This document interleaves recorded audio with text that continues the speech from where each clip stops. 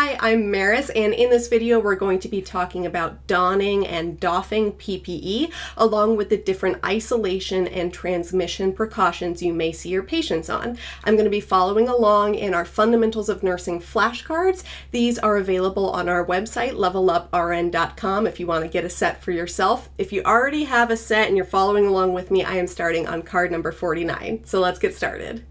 Okay, so to start us off, we're talking about how to don and doff personal protective equipment.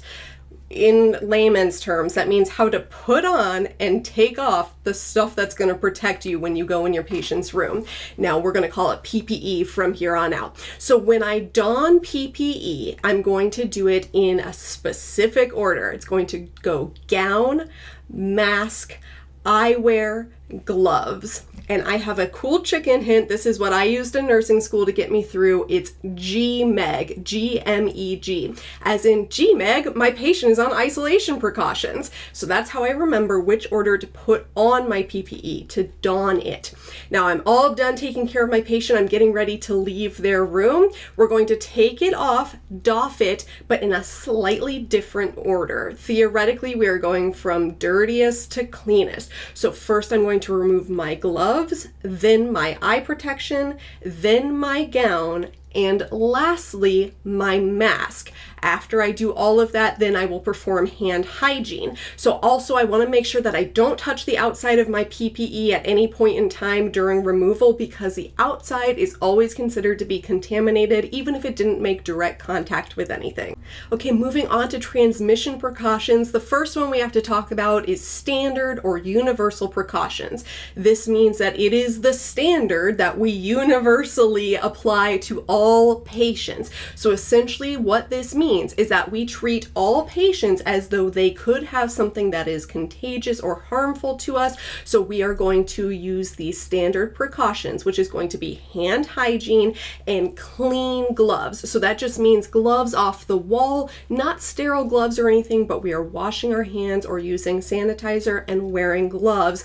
Um, there's other things to keep in mind, like safe injection practices and cough etiquette, but I'll let you read more about that on this card. Those are the big two hand hygiene and wearing gloves.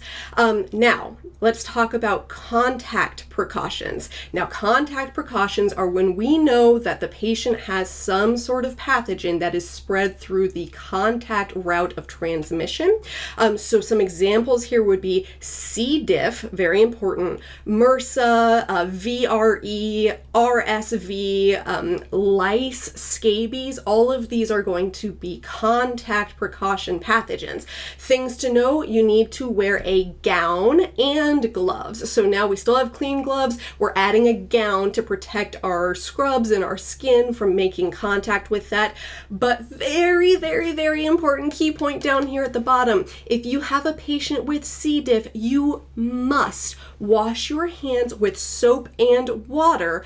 Do not use alcohol-based sanitizer because C. diff is spread through endospores and alcohol-based sanitizer does not get rid of endospores. So very, very important to know about C. diff in particular.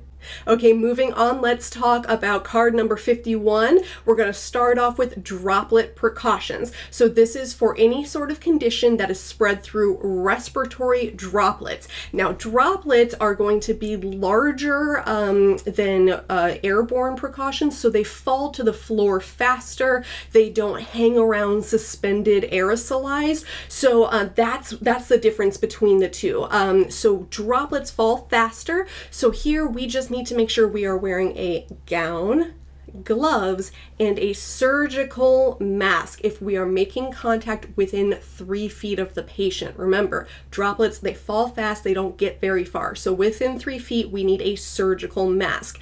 Who is on droplet precautions? Patients with influenza, patients with pertussis, group A strep, mumps, diphtheria, rubella, and bacterial meningitis. All of those are going to be droplet. Now, airborne is going to go a step further. These are uh, conditions that are spread through aerosolized particles. So think about spraying an air freshener. It's going to spread out, it's going to stay suspended in the air for longer. So that's what's happening with these pathogens. So these are really, really important to know which pathogens are they. The big one is going to be tuberculosis, um, but we also have ones like varicella, which is chickenpox, and measles. Gotta know that. Um, so we have to have a private room for these patients, uh, but we need to make sure that the private room has a negative pressure airflow, meaning that air is being pumped out of the room away so that it's actually removing as many of those particles as possible. Um, and then this is so important. When we go in the patient's room, we need to wear a gown, gloves, and an N95 respirator. Okay, that's very important. A, a, respirator or a mask that is called N95. An N95 protects me, the wearer, from you. It does not keep the wearer from spreading their their disease. So, if the patient on airborne precautions ever had to leave the room for any reason to go have surgery or imaging, then the patient needs to wear a surgical mask. A surgical mask is what protects me from you when you are wearing it. So, N95 protects the wearer, surgical mask protects everyone else. Very important to understand the difference there.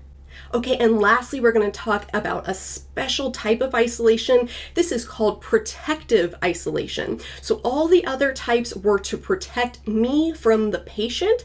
This one is to protect the patient from everybody else. So this might be someone who is immune compromised, someone who has neutropenia, meaning that their white blood cell count is low, someone who just had some kind of radiation. There's lots of reasons a patient might be on um, protective isolation.